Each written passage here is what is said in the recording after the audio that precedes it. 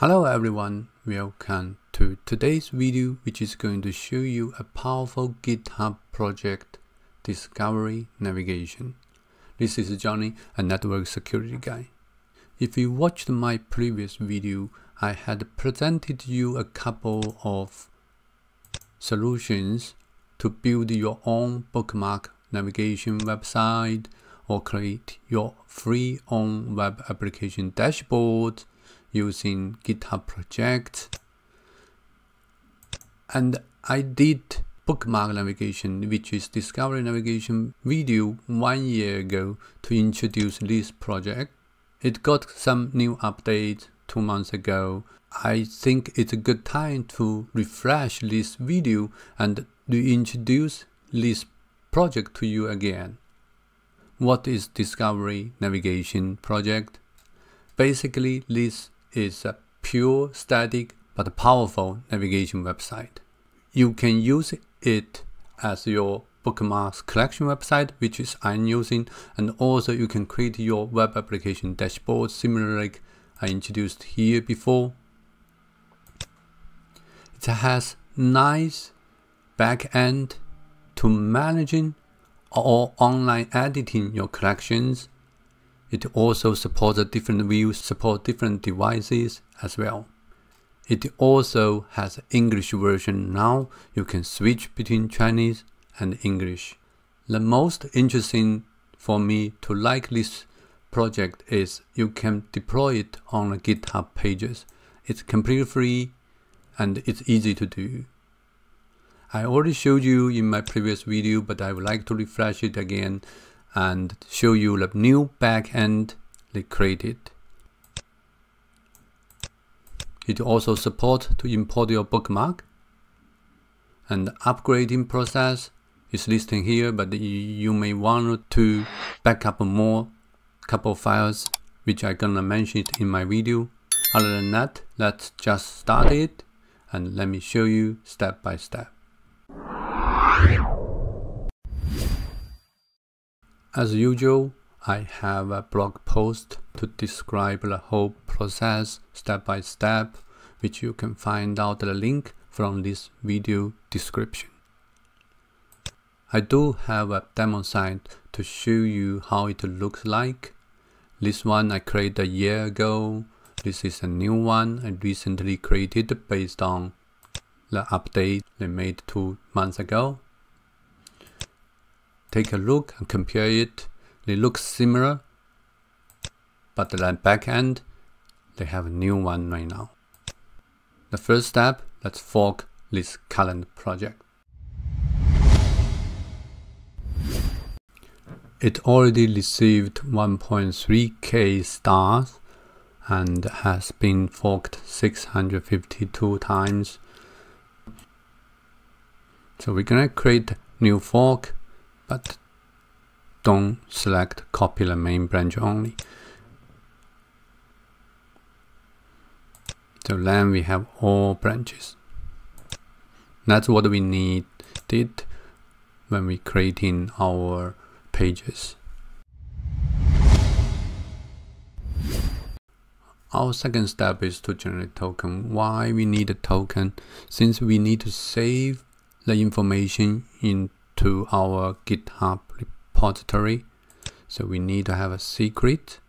So we can, the action can take this secret as authentication method to write the information into your repository, which is your database file, a text file sitting in a GitHub repository. I'm gonna generate a new token through the settings um, you go to the bottom, there's developer settings, personal access token, generate new token. You also can generate a new token through a classic way. There's uh, no expiration date. So which I am using since uh, that project is only for me. So that's the option here. You can generate a no expiration token um, basically choose everything here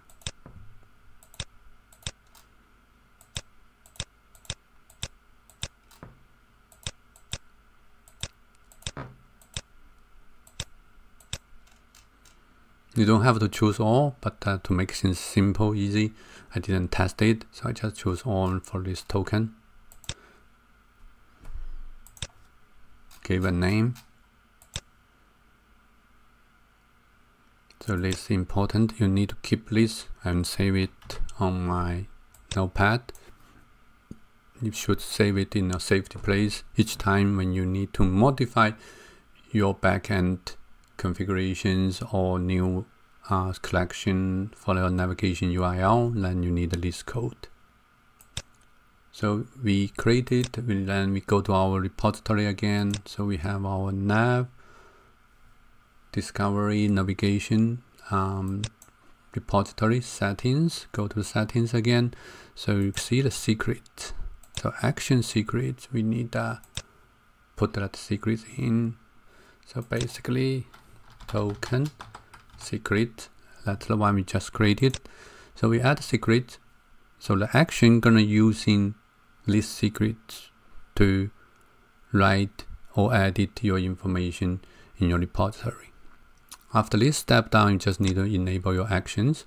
So you know uh, when the workflow on be run on this forked repository but we know I understand my workflows go ahead and enable them so it's enabled it. Go to settings pages. Um, here is a source it said deploy from a branch. So we need to enable github pages. So the branch will be main let's save here is a good point um, we can custom domain um, but if we need to put the custom domain here we need to do actual two steps one step is go to your settings, your account settings. You need to authorize that domain first. Go to pages. So we need to verify this domain. So for example, if you want to do the 51sec org, you need to add this domain.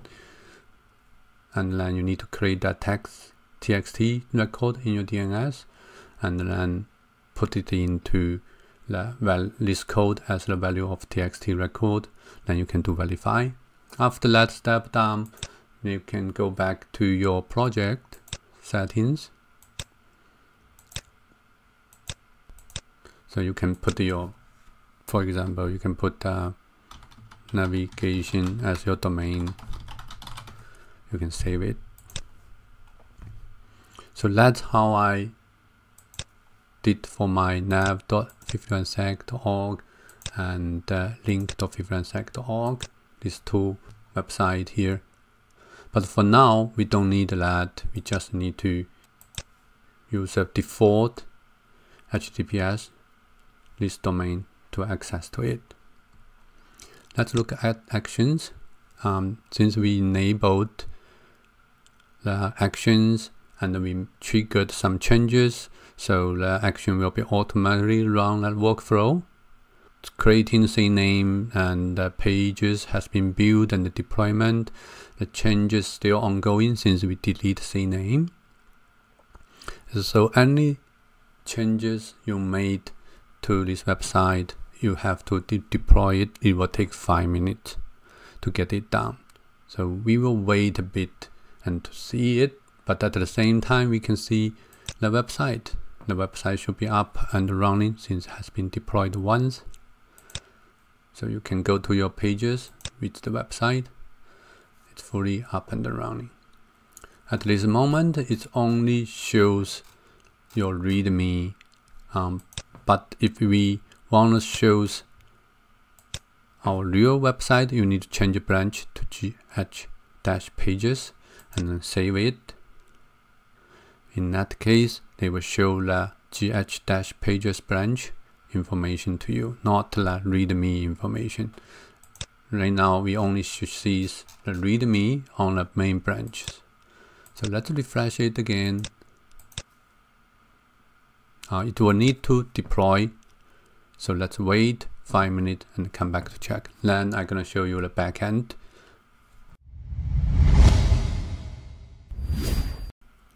After you see the pages build and the deployment has been completed with this green check mark, you can go back to your settings pages and um, visit the site again so now you can see it's the website they still have some Chinese here because by default it's a Chinese version so we need to change it to get into the backend it's simple just change the last word to the system so now you need to enter your token. Don't worry about those Chinese. We're gonna change it because by default it's using Chinese. Copy token and paste in and put in here. So you will get successfully authenticated. Then you will get in the backend. The first thing you need to do, if you know, if you don't know the Chinese, change from here default language to English. and then you can deploy save it deploy it but before that let's um, make a little bit changes to navigation so which can make it's easy to read in the future. So we made some changes in the back and we want to save it. So let's uh, say yes and uh, synchronize the data to remote github repository. But we will get this request field with status code 4 for the reason why we get it. There's one manual settings we have to do in our repository. There's a configuration file we need to change. Edit so we need to change this URL to the URL we have. Because we're gonna make using that token to change the settings, change the database file for our own repository, not the authors. So let's do commit change. Don't forget once we commit change, it will take 5 minutes to get the actions to update this configuration file. So there's a workflow. So when you change the code, they're gonna update in it. So we wait five minutes to let it finish. Then we were gonna try to do the save again. Those two workflows has been completed and now let's try to save it. We need to refresh our page. We may lose our changes. Let's give it to English. Uh, other changes we will do it later. The first thing we're gonna make sure it's saved. So it's saved successfully let's go back to action. So another workflow been triggered. So we need to wait another five minutes to let those changes taken into effect. After 5 minutes waiting, two workflows completed and we can go back to original web page and then refresh it. Now you can see the website title has been changed. The categories is a built-in URLs and those bookmarks. So those are still with Chinese. You may want to change it, but in the backend, it's all been changed to English. So you will have a chance to change your logo and you can change those SEO information and the foot HTML and all the background, even banner. So those are customizable. If you want to change the tag settings, you can do it here the website management is the place you can back up your all URLs you added in, which is your website. You can choose the three tiers category and then add the website under the third tier, third category. As I mentioned, there are two backend here. So one is system but if you want to do admin, you will get this old fashioned admin portal. So there you can do some basic settings as well, but uh, it's not that much system settings you can change from here. So there's two backend, one is admin, one is system. In the system, you have tag settings change, and also you can have search engine change. For the old backend, you have to do it directly from a GitHub repository. Let's come back to my backup files you need to backup. If you need to upgrade, you got the new update from original. Also, you want to pull those uh, updates in. So based on the settings here, you will need to backup data folders and the navigation. So let's take a look there.